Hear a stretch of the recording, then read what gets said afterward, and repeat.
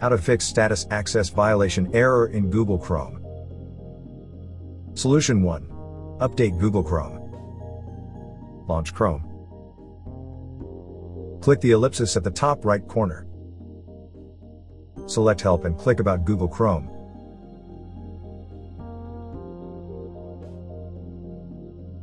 If an update is available, the browser will begin updating automatically.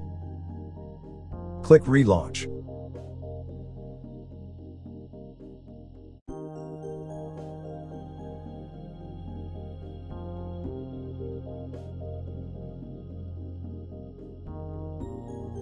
Solution 2. Disable installed extensions. Launch Chrome. Click the ellipsis at the top right corner. Select More Tools and click Extensions. Toggle the slider next to the extension to disable it.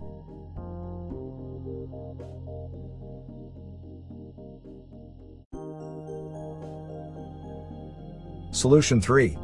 Modify the browser executable file name.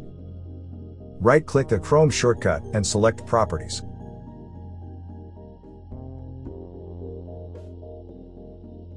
Click Open File Location.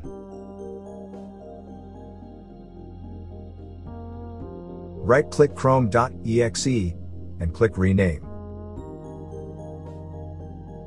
Rename it to ChromeEdited.exe and save the new name.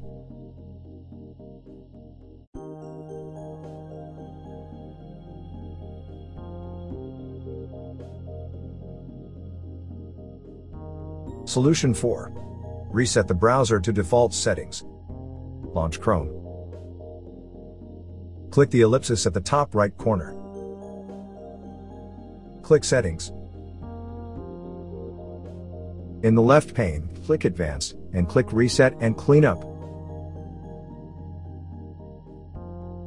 Click Restore settings to their original defaults. Click Reset Settings.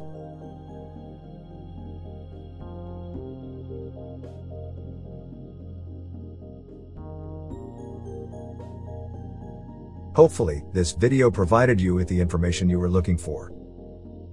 If you're using a Windows computer, we suggest scanning it with Combo Cleaner.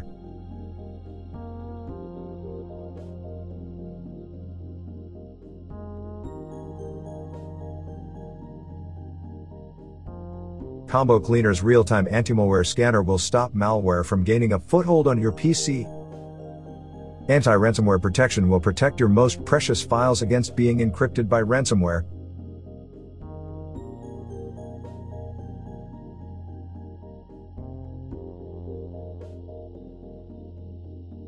Combo Cleaner's web browsing protection will block scams, malicious websites, and downloads. Also, Combo Cleaner's duplicate file finder and Big Files Finder will help you clean up your PC and save gigabytes of valuable disk space.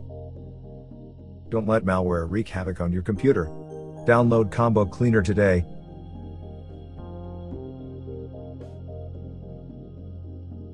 Thank you for watching. If you found this video helpful, please consider subscribing to our channel